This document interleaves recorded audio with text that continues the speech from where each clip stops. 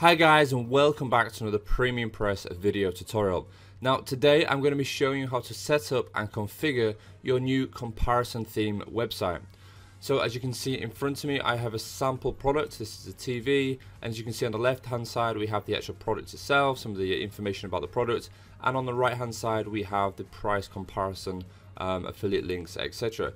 So I'm going to show you how to create um, this product, I'm going to show you how to configure the default kind of view here, the, the default affiliate link, and also how to set up price comparisons manually and how to do it automatically using a Datafeedr plugin.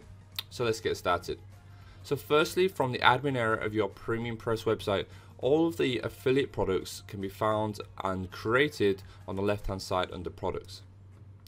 So as you can see here with the default install theme, we have some sample products just to kind of get you started.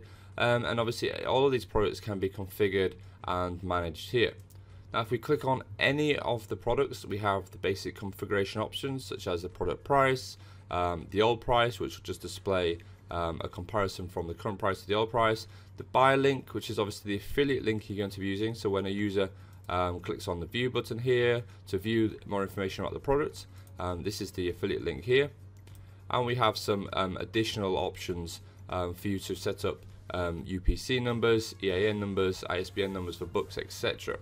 So some of the basic, obviously, product description options are here on the right. We have a title option, um, setting up the description where you can add obviously your own videos and content, etc. And we have the option underneath to add and configure um, um, price comparisons manually. Now obviously you can do that manually, so I could go ahead and add some content manually, um, and then when I view the products, it will display all of the manually added um, items I have. So as you can see here, I've added a camera, it's got $100, and when I click the view button, it's going to take me to the affiliate link here, or the buy link as it were here. And I could do that manually for each one, setting up my own affiliate link, etc. Now what you might want to do is make it more automated, and to make it automated, we need to connect to a product feed or an affiliate feed that allows us to automatically check against um, the title of our product, some information about our product, the UPC numbers, etc., and display um, an accurate price comparison for that product. So to do that, we're going to be using the Datafeedr API.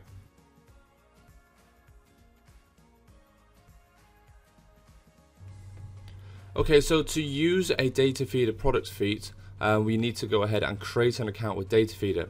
Now, Datafeedr, um, to access and use the API, it's actually a paid service, it's not a free service. Um, so you be aware that there may be additional pricing uh, involved. At the current time of doing the video, uh, we have uh, starter packages, basic plans, professional plans, and most of our users will be very happy with the starter plan. To be fair, that gives more than enough to get started with your new comparison website, and we've never seen anybody um, have issues with that. Obviously, when you have a bigger website with more clients, you, you're selling more products, then obviously look to upgrade. But for the for the starter package for the users just getting started with their product API and your, your new comparison theme, uh, the starter package by Datafeedr is more than adequate. So once you've created an account, you've signed up, we can then go ahead and go back to our Premium Press website and start configuring the WordPress plugin. To find the necessary plugins, we've added them in the admin area under Premium Press, Plugins, and then we're going to use a subsection Popular, and as you can see here, we've got the two plugins that we've integrated with our Premium Press theme. So we will go ahead, click Install Plugin, and activate those plugins. Now once you've activated the Datafeedr API in the Comparison Sets plugin, on the left hand side you'll now see a new option called Datafeedr API and this is where we can start configuring our Datafeedr um, API.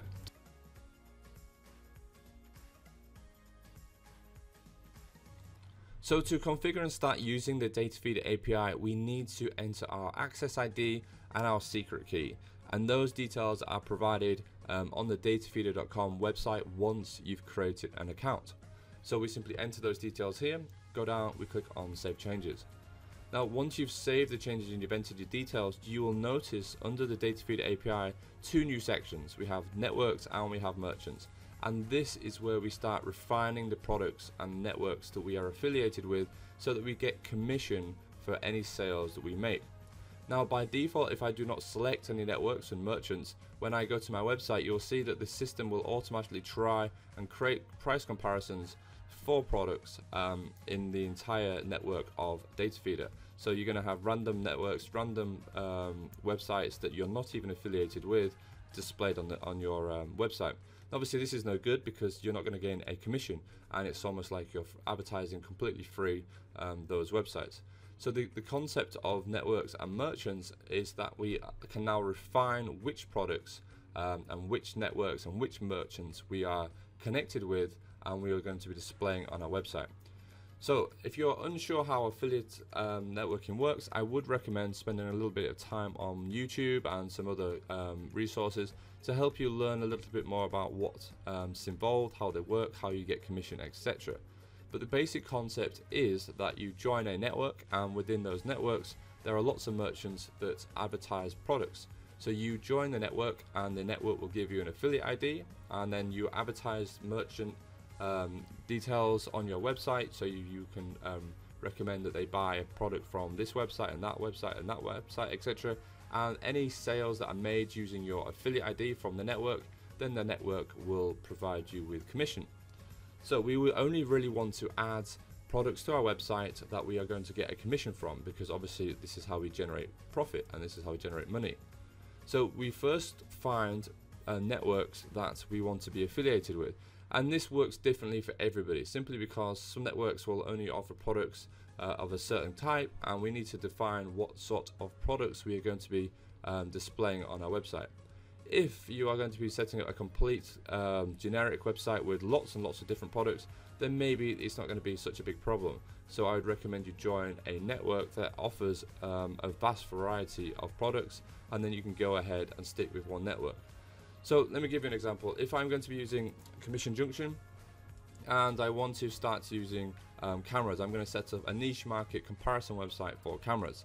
Then I'm going to join um, um, Commission Junction first. I'll go to Commission Junction or CJ.com or whatever their current website name is. We set up an account with Commission Junction. They then provide me with an affiliate ID. So I enter my affiliate ID here. I would then scroll down, click on Save Changes, Okay, now I can then set up the merchants, which means all of the merchants that I've joined through um, Commission Junction. So in this case, since we're going to be using cameras, so let's just click on cameras. So I want to create um, affiliates with these websites. So I'm going to go ahead. As you can see, I've added them here, um, camera and digital rev cameras. And basically all of the products that I just um, found for cameras um, through these merchants only will be displayed on my price comparison options and that way I'm going to gain a commission for any um, sale that is made from users that have clicked the links on my website and then purchased through this affiliate website. So make sure that obviously when you're creating your comparison website that you only display merchants uh, and networks and join networks that are um, relevant to the niche market you're advertising um, otherwise, you're just not going to get any commission. So you'll be paying $29 a month for your Datafeedr API and generating no commission at all. So one thing to do obviously is go ahead and do some research on which networks are suitable for your product niche and then go ahead and join merchants that are um, appropriate for the website you're setting up.